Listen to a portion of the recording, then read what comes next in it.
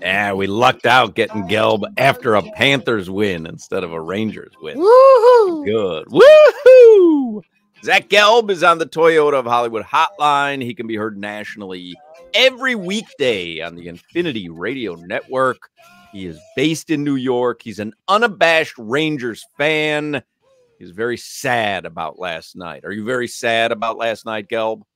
Well, they did what they needed to do, and that was split in Florida. So, with the way that they've been playing, I'll take that this series is at two apiece. Uh, the only one I'm really mad at is actually just Solana. Like when I saw those rats getting thrown on the ice last night, I thought they were throwing Solana on the ice because he resembles a rat these days. Oh, he's Now, why- scared. Punk ass. What is going You're on here? punk Why? ass. Why? You are You're a punk ass. Wow. Dude. What is happening here? What happened between you and Solana during this series? Oh, Because Solana told me. me that uh, that you were going to be fired up about him. Well, so I'm enjoying myself. I'm at a bachelor party. I'm watching the game, and the Rangers. Uh, oh no, it was, after game one. That's what it was when they lost. And he starts firing me off like different text messages of Bobrovsky when the Heat lose every year. I don't send him messages of like Pat Riley and Erik Spoelstra and Jimmy Butler and all those losers. Like I don't do that. so it's like one of those things where I know he doesn't actually care about hockey. This is my team. This is the team I care about and he starts just texting me over and over and over again. And then I don't hear anything from that cockroach after game two or three. And then he pops up again last night on my Twitter feed. He's a pain in the ass. I love Solana, but he's a royal pain in the ass. You know what we should be throwing instead of rats? Those trash Katz's Deli sandwiches. All Panthers fans should just be throwing those. Dude, you are a one-trick pony. baby. You are a one trick pony. If it wasn't for Katz's Deli, you would have no material. Come up with something new. tell you, I stand with 5'2" player. Solana on this. I love getting underneath someone's Because skin. this show is, uh, the blind leading the blind. Gotten under yours, man. I am so. I have Oh. never been more proud of Solana than And I am right I'll now. admit to it. hear that he was peppering you with texts and gifs after uh after game one. And to be quite honest, I love the fact that you called him a punk ass with anger. well, here's what annoys me. So, like, I have a lot of friends that are Devils fans, and I also have friends that are Islanders fans, and they're afraid that the Rangers are going to win the cup, and, and and even Flyers fans too. So they all start texting me before this series is even over. Oh, Rangers are winning the cup. They're winning this series. Just so like I don't throw it back in their face. I want to just text them and be like, I'm not going to throw this back in, in in your face. That's not on my priority list. If the Rangers go on to win the cup, it's just to be happy and to celebrate this championship. So when Solana doesn't really care about the Panthers and he can't even remember what game he went to in the playoffs, uh, which we were talking off the air, it, he was just annoying. It was like whack a mole. He popped up and I just wanted to smack him off my phone and block him. ah, whack-a-mole. I love you, Solana. I because I do the same thing to Pizzola, you know, for Maple Leafs games or anything that goes on in Canada. I always just text, Oh, just fire off text to him, and I know that he doesn't get any enjoyment out of it. He doesn't want to hear from me except when he's on the show, and I love that. and, and to be fair, I, I had a, probably too many drinks at game one because I was in a suite. And the fact that they didn't win, I had too many drinks and not enough food, which I probably should have ate more. And then Solana just starts texting and blowing up my phone. I was like, enough of this a hole. All right. It's not my fault. Lafreniere doesn't know which goal to score in, Gelb. I mean, I mean, Well, the right have you goal, watched the series? Because he started to look like he knows what goal to score. And if you actually pay attention, we got him. We got him one other night. that is is Crowder excellent. coming Well, to game five? You were talking about that. Are you going to the garden tomorrow night? No, I'm in Dallas now, and then I got to go to DC. I'm going. to He the only White goes where the weather is terrible. How's the weather in New York? Is it okay? Because he only flies where it's going to take him 14 hours to I land. Eight, 80 degrees and sunny today. I Beautiful day. flew into Really? Dallas yesterday with hailstorms and tornadoes. I don't, I don't, I don't make good decisions. They So get what- hail in Dallas. Oh, Dallas got like, I mean, pounded Oh, with really? bad weather. Yeah. 11, What, it took uh, me so- eleven hours to get to Wh- Dallas. wh- what are you in Dallas interviewing Dak Prescott for the pivot? yesterday. Dak ain't jumping on. I mean, with Boy, that I love Fanatics for money it. I now, love you. I, I thought we might see him courtside last night at the Mavericks game with that Fanatics money. I mean, he's got the direct line to Michael Rubin. All of a Yeah. sudden, he's uh he's sitting Big star. courtside. Check, check Big doesn't hit till the first of next month. Big star. Um, has the series, you know, it, it's 2 2, and now it's a three game series. Has it played out the way that you kind of imagined that it would have? I, I said going into the Rangers going to win in seven, but I did preface that by saying before the playoffs did start, and I still believe it, that the Panthers, pound for pound, are the best team in hockey. So the the overwhelming part is how much of the puck the Panthers have controlled. So with how much they've been in the Rangers zone, and this series is still 2-2 with Panarin not getting a goal, Zibanejad and Kreider not getting a single point so far in this series. I'm not going to tell you that this is a lock the Rangers win the series because I truly do believe this is a coin flip.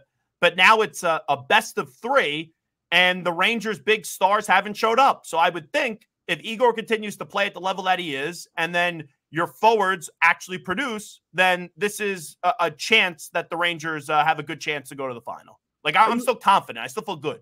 Yeah, are you surprised at all how it played out? Because like my thing is, I like I like games and series to get dirty, get nasty. It's Yeah. it's it's more of a pleasant series. Are you surprised how it's playing out? Uh, I think that this has been a very physical series. Um, I will say, you know, the the Panthers. Uh, I know everyone wants to focus on Jacob Trouba and uh, that hit, which I didn't think was actually that bad and shouldn't have been a major. They didn't call it that. Uh, but the Panthers aren't afraid to go at it after after the whistle as well, and we know that they're are, are one of the most physical teams in the league. So I think this has just been a fun back and forth series where you can't predict it. Right? Game one, I don't think was as bad as what the score did indicate.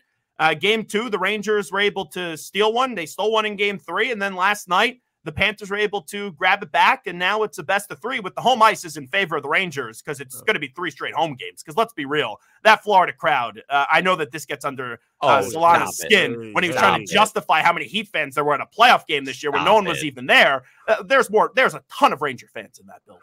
There's a lot of Rangers fans, but Yeah. it is not Home a game. home game for Home the game. Rangers by any stretch. Of I was hearing imagination. Igor chants last night. Home How game. dare you? How dare you? Shesterkin has been really good. It comes down, and Bobrovsky's been fine too. I think Yeah. Shesterkin's been a little bit better, but it really comes down. If you can get it to overtime, you need you know one lucky break to to get the dub, and it's what happened with the Panthers last night. Well, look at last night. So, for example, in the first period, the Rangers outplayed the Panthers. Then the Panthers woke up in the second period, but they weren't able to get goals until they got that crazy fortuitous bounce in front of the net. And then even the other goal was fortuitous as well. It's not like they fully beat Igor Shesterkin. The last goal that uh, they did, and they got a good uh, penalty. Uh, Mika made a, a bad decision. You got to send that puck um, on the net or toward the net. He didn't do that. It was a turnover. I have no problem with Wheeler taking the penalty. Quite frankly, I would have rather have a penalty shot called because then it's uh, one guy on Igor Shesterkin. He makes a save. Then there's no power play. Once they got the power play, uh, I, I thought for sure the Panthers were going to cash it, and they did to their credit. I was surprised that wasn't a penalty shot. I don't, I don't know the it- like for from what I understood about the rules, he was I in thought it front of should have been- Yeah, I, I I thought it should have been um, at the end of regulation when the Panthers definitely took one penalty. It should have been two. Um, if that was five or six minutes beforehand, they would have called that, but they weren't going to call the hold on Zibanejad and the trip on Kreider with 10, 15 seconds ago. It's just like the same thing in the NBA where you kind of swallow the whistles late. let me uh, shift over to the NBA for a second because Solana and I, I love Dallas. I think Dallas Who? is. I You and who? Solana and I. Who? We do Mhm. not think the hype about Boston is worthy, and Crowder loves What hype? Crowder's like the best team in the NBA was Boston in the regular season. They're the best team in the NBA right now. But, but let me ask you it. this: Wh- What hype? Because I- I do think the Celtics are winning the finals because it's going to be up against Dallas, and I just think it's the Celtics' time. I think that's going to be a phenomenal series. But for the most part, I think most people's takes have been, well, Jimmy Butler was hurt, then you had Donovan Mitchell hurt, Halliburton missed two games. The Celtics haven't been tested. This was a bye to the NBA Finals, and now ultimately getting these final four wins uh, in this series is going to be championship or bust. If they get them, it's a super duper success, and if they don't, it's it's a failure of a season. So I think people have been a little overly critical of the Celtics. They can't play the way that they've been playing uh, up against Dallas to Well, win. that- but that's but I my think they're gonna come come That's my point. Like They to. odds-on favorites in Vegas to win the NBA should be. Finals, whether they face Minnesota or Dallas. And I don't see it because I'm with you. I don't think they've been tested during Mm. this run to the NBA Finals.